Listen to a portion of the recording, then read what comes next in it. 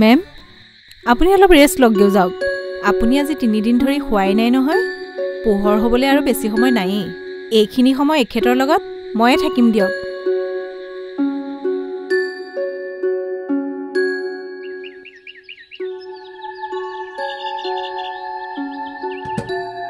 Sir পানী লওক।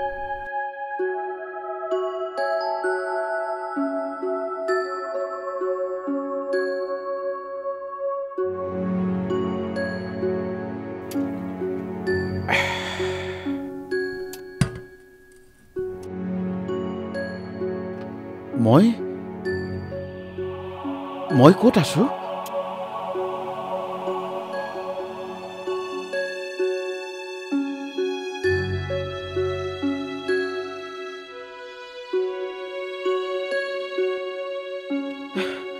মোৰ কি হৈছিল?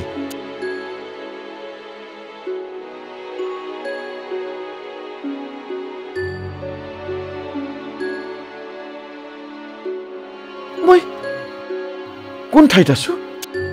চিন্তা নকৰিব ছাৰ। আপুনি ইয়াত সুৰক্ষিত অৱস্থাতে আছে। আচলতে মোৰ হৈছিল কি? আৰু মই ক'ত আছো ঠিক ধৰিব পৰা নাই। আপুনি আজি সম্পূৰ্ণ তিনিদিনৰ মূৰত জ্ঞান ঘূৰাই পাইছে। মানে আপুনি তিনিদিন চেঞ্চলেছ অৱস্থাতে আছিলে। অনুপমা বাইদেৱে আপোনাক হস্পিটেলত এডমিট কৰোৱাইছিল।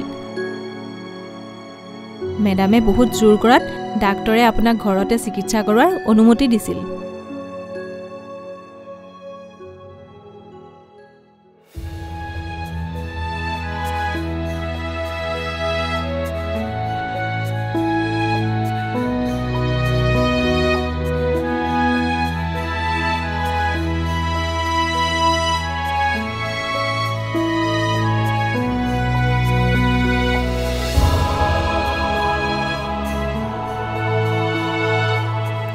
ফাগুনৰ এটি উলংগ ৰাতি তুমি মোৰ পৰা আঁতৰি গৈছিলা গোপনে। আজৰি নিছিলা হেঁপাহবোৰ মোৰ। আৰু এৰি গৈছিলা মোৰ উকা হৈ পৰা হৃদয়খন। বহাগীৰ নাচনিৰ দৰে থিয় হৈ থকা নামত গছবোৰ কঁপি উঠিছিল সিদিনা ৰাতি। ওঠৰে সৰুকি পৰা এটি সৰু হাঁহিটো দূৰৰে কথা। এষাৰ মাতো নিদিলা। এবাৰো উভতিকে নাচালা কৃষ্ণপক্ষৰ দুপৰ নিশা। সিদিনা জোনাকী পৰুৱাই উমলা নাছিল। নাছিল ফেঁচাৰো মান। নাছিল পাদুলিৰো উমঘাম চৌদিশে এক মৰিশালীৰ নিস্তব্ধতা।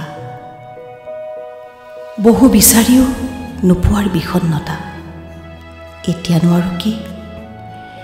হেঁপাহবোৰৰ লগতে জীৱনটোও কঢ়িয়াই লৈ ফুৰিছোঁ। কোনোৱে নেদেখাকৈ কোনোৱে নজনাকৈ।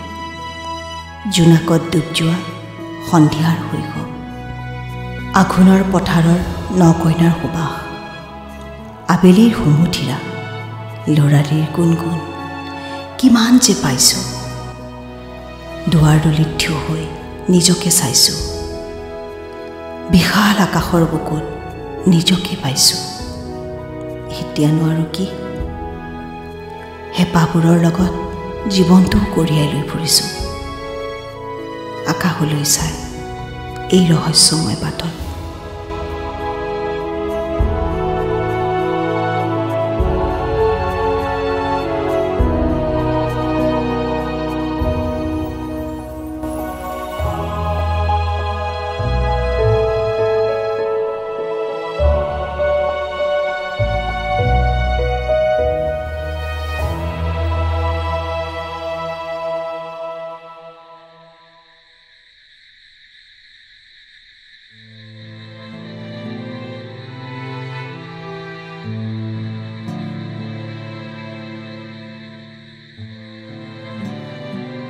মই কবিতা ছদ্ম নামতহে লিখিছিলোঁ।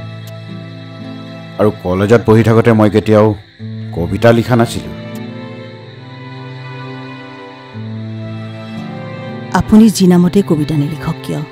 পঢ়ুৱে ইচ্ছা কৰিলে লিখনিৰ মাজতেই কবিজনক আৱিষ্কাৰ কৰি ল'ব পাৰে। আপোনাৰ প্ৰথম কবিতা পুথি এপাহি হেৰুৱা ফুলৰ সুগন্ধিত। আপুনি সম্পূৰ্ণ মানুহজন জিলিকি উঠিছিল।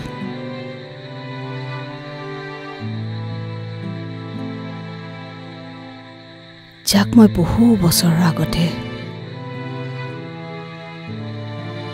বহুত ভালকৈ বুজি পাইছিলোঁ।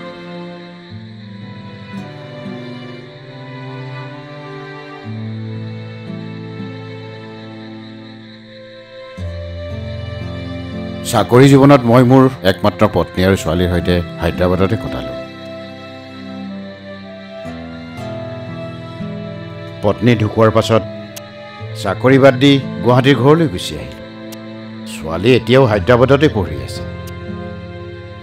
আপোনাৰ মোবাইলৰ পৰা নাম্বাৰটো লৈ মই তাক মাতি পঠিয়াইছোঁ।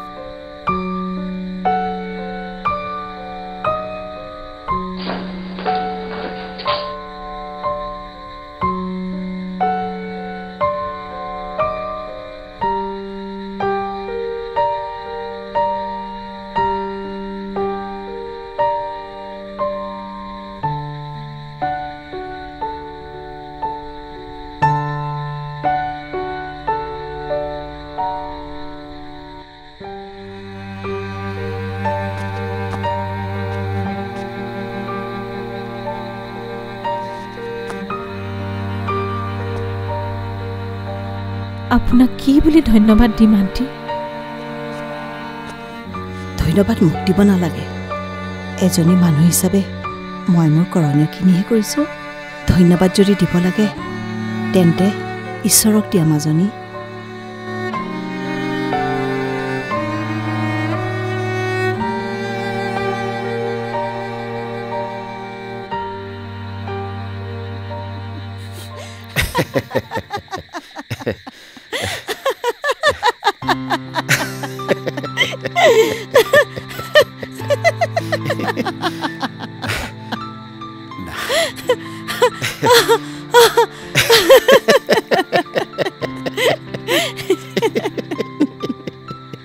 কি যে কয় আৰু নাই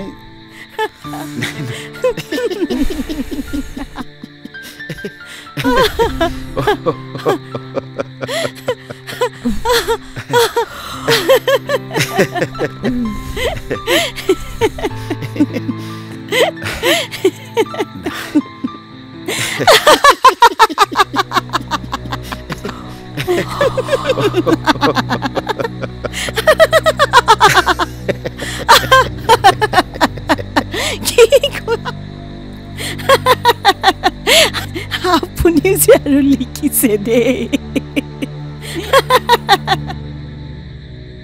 আচলতে তাই নিজে ল'ৰা চায়েই থৈছে।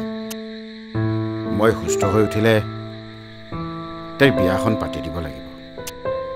তাৰপিছত মই আজৰি।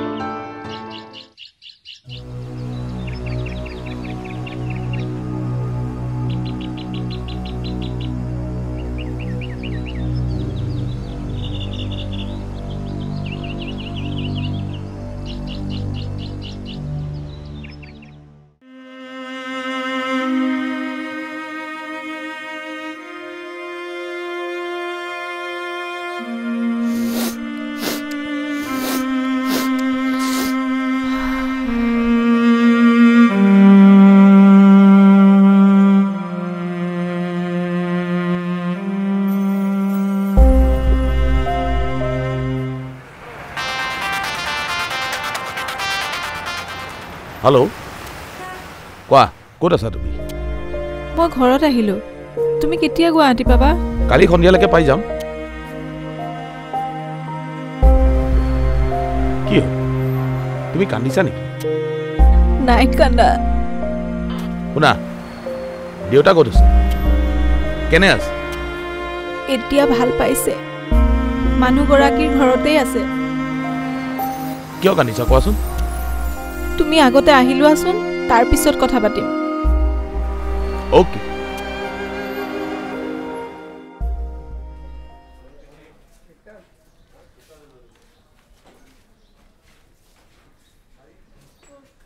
তুমি অভাৰ ৰিয়েক্ট কৰিছা?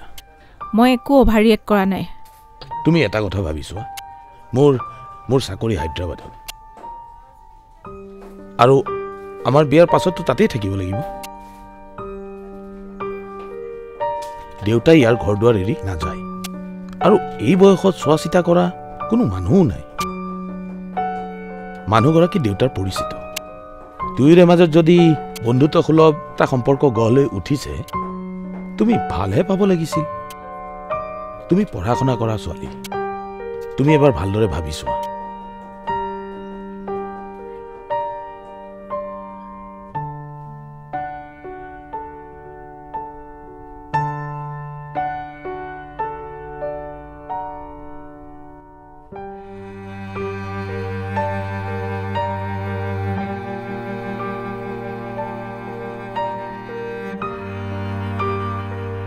হেৰা তোমাৰ ছোৱালীজনীৰ বিয়া হোৱা আজি দুমাহেই হ'ল। সিহঁত আজি হায়দৰাবাদলৈ গুচি গ'ল। তুমি য'তেই আছা তাৰে পৰাই সিহঁত দুয়োকে আশীৰ্বাদ কৰিবা দেই।